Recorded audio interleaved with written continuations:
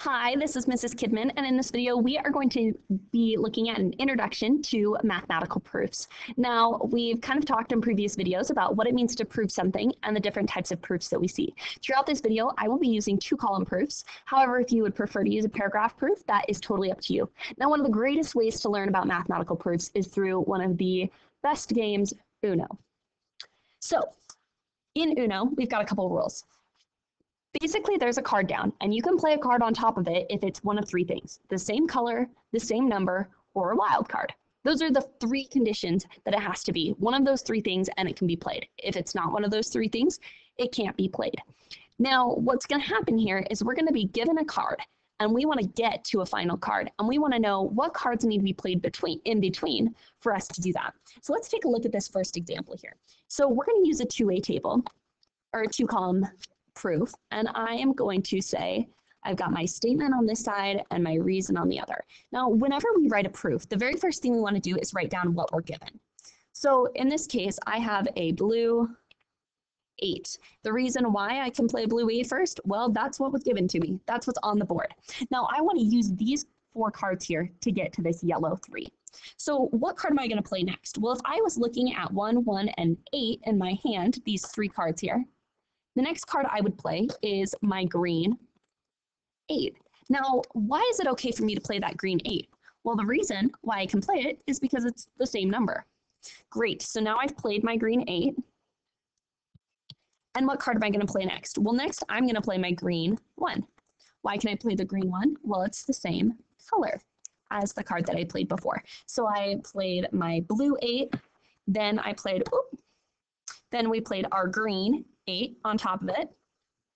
And then after that, I decided to play my green one in front of that. Let me pull that one forward here. My green one in front of that. Now what card are we going to play next? My options are this yellow one or my yellow eight. Can I play, or my yellow three? Can I play my yellow three? No, I can't. So what do I need to do now? Well, I need to play the yellow one. And why can I play the yellow one on top of that? Well, that's because it is the same number. And then our last card that we're going to play, this one also needs to move, move forward. Now my last card I can play is my three here. And the reason why I can play my yellow three and get to what we're trying to prove is because it is the same color. Now I want you guys to notice here, I made a statement. I played my, I had the blue eight. Why did I play that one first? Well, it was given to me. What card did I play next? The green eight. Why could I play the green eight? Because it's the same number. Our statement to our reason is why can you do that? And that's really what we want to ask ourselves. Why can you do that? If I can do it, then great, let's play it. But why is it okay that I do that? What rule does it follow that says it's okay for me to do that? And that's purely what logical proofs are. We come up with a path of logic, and then to back up our logic, we have to give a reason why it's okay for us to do that and why that's mathematically sound. So let's take a look at another Uno example here. So we're given a red 2, and using a yellow 2, a blue 8, a green 2, a blue 2, I want to get to the green 8. Now, we've got a statement, and we've got our reason. Now, there are, just like in math, a lot of different ways to prove something is true. Just like in this Uno game, there's a lot of different ways for me to go from that red 2 to that green 8. Now, I could go a long way. I could say I want to go from, I'm going to start with my red 2, and that's because it was given. And then I could say I want to go to the yellow 2 because it's the same number. I could go to the blue 2 because it's the same number. And then I could go to the green 2 because it's the same number. And then I can go to the green 8 because it's the same color. Now, is that the only way to do it? Of course not. Instead of going to the yellow, I could have just hopped right down to this green 2. Why could I hop right down there? Well, because it's the same number. Notice, red 2, green 2, they're the same number, so I could play it, and we could have just had this proof. Similarly, I could have even made this proof longer by going red 2, yellow 2, green 2, blue 2, blue 8, and then our green 8. Now, why can I play those ones in order? Well, it's the same number, the same number, the same number, the same color, and then the same number. Now notice how it doesn't matter how I do it. As long as I get from one place to the next, I've proven it to be true. If it takes one step, if it takes 10 steps, it doesn't matter. And that's the beautiful thing about mathematical proofs. As long as they're logically sound, it's been proven. It doesn't matter how you do it. Now let's take a look at one last example here. And I want you to try this one on your own. So you're given a yellow zero. Using the two, the green zero, the red two, and the blue zero, I want you to prove that we can get a red six. Now remember to fill out your statement on one side and your reason on the other.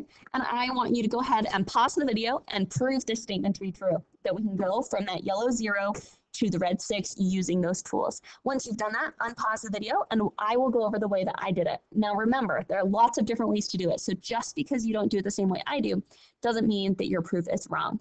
So go ahead and pause the video and work this out on your Okay, hopefully you've had a chance to finish going over that. Now, when I proved this, I started out with my yellow zero.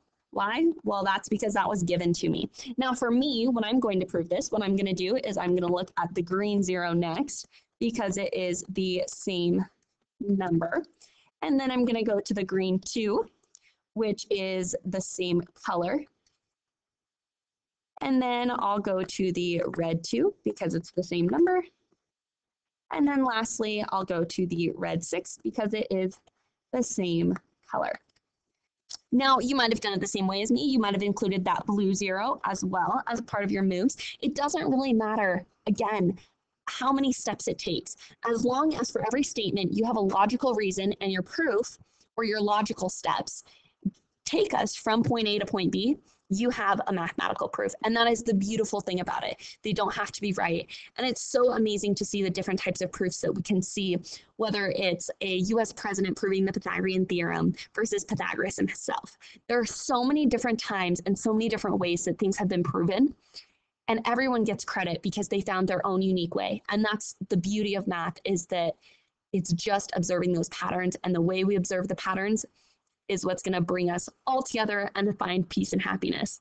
And that is the beauty of proofs. So in the next video, we are going to be doing some actual algebra proofs um, for our mathematical proofs. Please check out that next video when, in which we go over some of these algebra proofs and we start using some of those um, theorems and postulates and properties that we've seen and can use to help give our reasons.